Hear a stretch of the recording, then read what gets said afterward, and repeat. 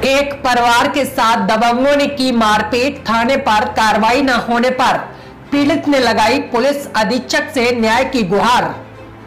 आपको बता दें, पूरा मामला जनपद मैनपुरी के थाना बरनाल क्षेत्र के ग्राम जैतपुर का है, जहाँ के रहने वाले नीरज पत्नी प्रेम सिंह ने पुलिस अधीक्षक अजय कुमार को शिकायती पत्र देते हुए बताया है कि बच्चों की लड़ाई को लेकर उसके गाँव के सुखवीर जयवीर सिंह, पुत्रगढ़ सात सिंह ने मेरे घर में घुसकर 22 सितंबर को गाली गलौज देते हुए लाठी डंडों व सरियों से मारा पीटा तथा कार्रवाई करने, पर जान से मारने की धमकी दी, जिसमें मेरे पति व मेरे मासूम बच्चे को इस तरीके से मारा कि उसका हाथ टूट गया, जिसकी शिकायत पीड़ित ने थाने में जाकर की। लेकिन पीड़ित परिवार की थाना पुलिस के द्वारा कोई भी मदद नहीं की गई।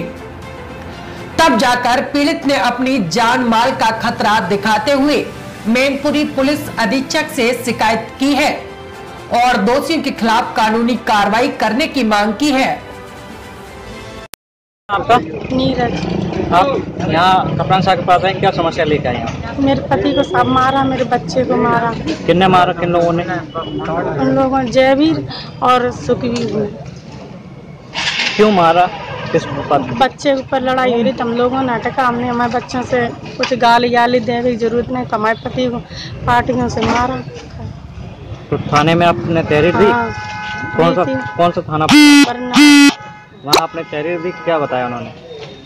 उन्होंने सुनवाई नहीं साफ़ कर रहे हैं वो लोग। अच्छा। हाँ।